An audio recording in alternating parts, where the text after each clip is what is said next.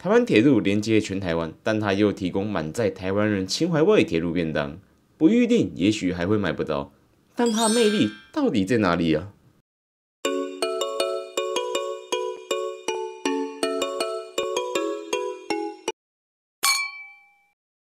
大家好，我是偷偷。我们现在来到七堵这里了，然后在我们眼前的是台铁本铺便当。你刚怎样？我们今天总共订到三颗便当哦，但是我们到现场领的时候啊，要求真的全场就只剩我们这三颗便当在等我们呢。哎，我真的没有想到说台铁便当它竟然是这么的热销哎，哎，套中刀。我们要吃个便当，结果你没有订的话，你也许还吃不到哎。但是这三颗便当一定是不够的，所以我们还要去七堵后站买一碗鸡块跟面呢。哎，再得五米啦。那我们从这经典卤排骨便当吃起来。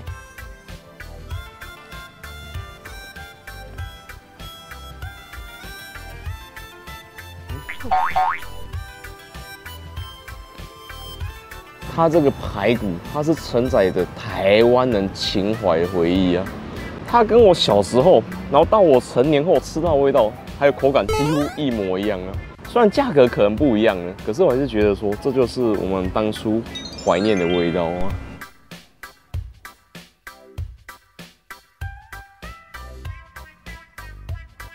那我们来配一下卤蛋。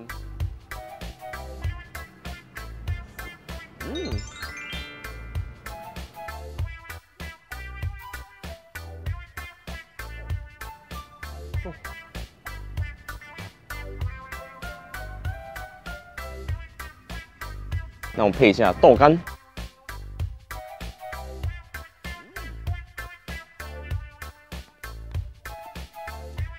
虽然它出现在这边是台底一成不变的搭配，但是以今天这个价格还有品质来说，我觉得非常的棒，非常的棒，没有意见。就是这种熟悉怀念的味道啊！就算它里面放了青菜，我们也会不小心爬一爬，一起就把它爬下去。这就是台铁便当的魅力啊！那这时候我们来配一下我们刚刚买的鸡块面。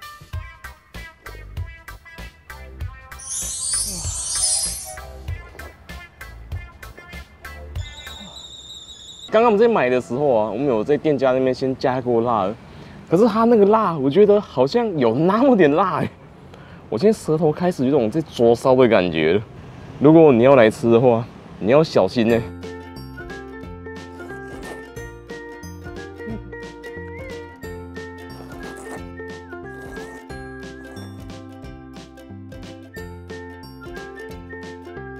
虽然说它这个羹面吃起来口味啊，也许比较偏向南部啊，但是我就是喜欢这种味道啊。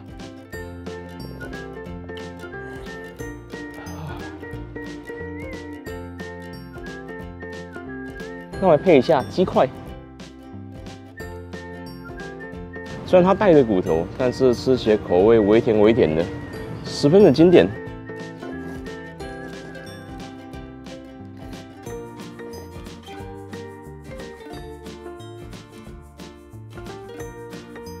卤鸡腿，哎，它这个卤鸡腿便当一整份一百块而已，你们突然觉得好像看起来很不错。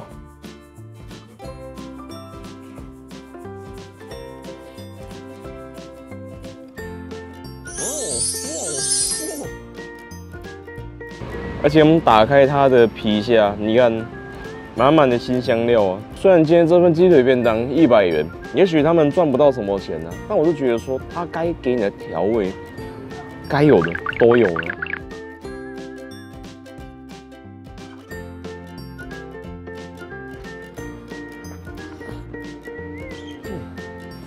我配一口高丽菜饭。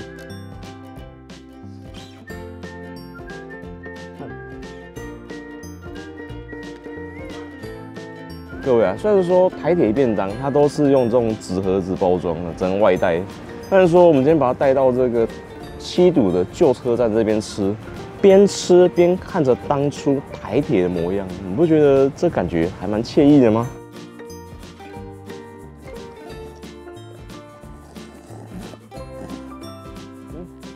那接下来我们来吃素食便当。我们鸡腿便当先不要那么快吃完也许等一下我们会配着它一起吃啊。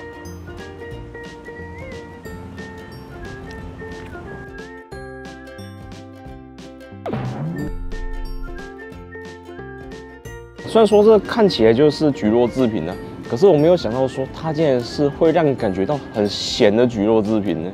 它这个非常的下饭呢。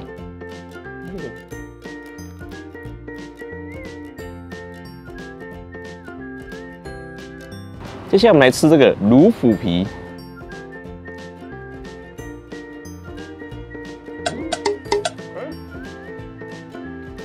我今天沙龙某哎，你们看到它卤透的模样啊，你会觉得说它应该是很入味、很咸吧？结果没有想到吃下去竟然是带点微甜、微甜的豆皮味。只不过素食便当它不会像刚刚餐盒里面有放卤蛋呢。它是真正的全素便当，但是说它卤蛋的位置，它就换成了这个黑木耳，可以画，可以还我卤蛋吗？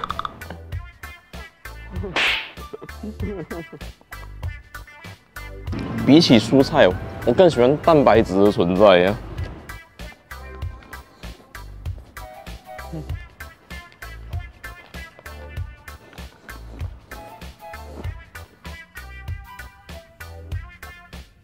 大香菇，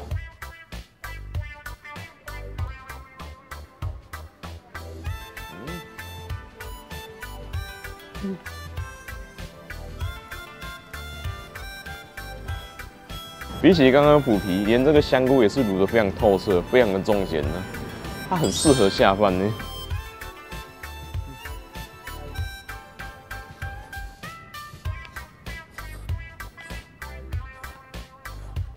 嗯吃光光了，我们吃到这边，我真正敬佩吃素的人呢。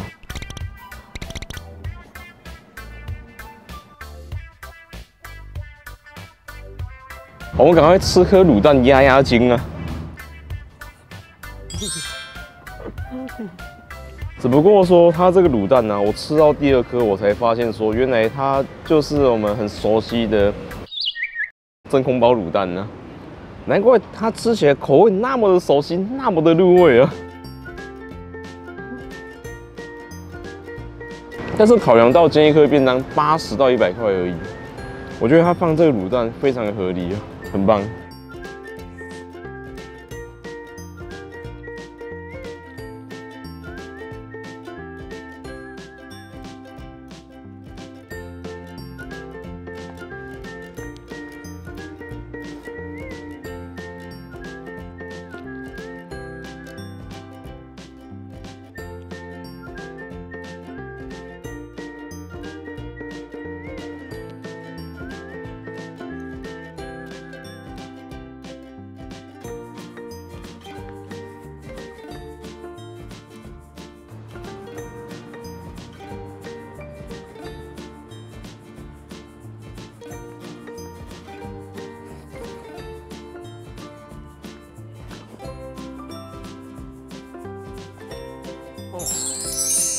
吃光了，OK 啊，各位，那我们吃完所有东西了，那么来说说我们今天吃台铁便当的想法吧。我们今天的便当总费用是两百六十元呢，有没有相较于我们上次在新北市吃到那个餐盒来说，是一张七百多块钱？虽然说也是吃的十分的满足啊，但是我们今天来到这边，我们吃这种公家的便当，不觉得就是有一种，虽然说它的味道也许没有像外面的连锁餐饮店那么厉害。但是说它所承载的是台湾人的情怀味啊！而且如今我们现在大台北中餐一个大男人想要吃得饱的话，哎，我们随便吃吃也是一百五两百去的。但是说如果你是外国人有来台湾玩的话，我就觉得说真的有机会该试试看呢。它就是我们台湾人都熟悉的味道啊。也许它不会是最好吃的，虽然说它的白饭可能是煮的比较干呢。但是说，由于它的配菜还有煮菜的油啊，实在是非常的丰富啊，所以它泡在便当里，整个吃起来有一种粒粒分明口感。虽然有一点，但我觉得以这个价格来说，非常的棒啊，没有什么好挑剔的。也许它的配菜会带给你一些中央餐厨的感觉，但是整体来说，我觉得以这个价格的体验还是非常的美味啦，好不好？那各位看到这边，有什么推荐吃到饱餐厅，欢迎留言告诉我，我看到就去回复了。哎如果喜欢影片的话，欢迎按赞、订阅、加分享，也欢迎加入频道会员，或者说超级感谢各位支持我们哦。那我们就下影片见啦，拜拜。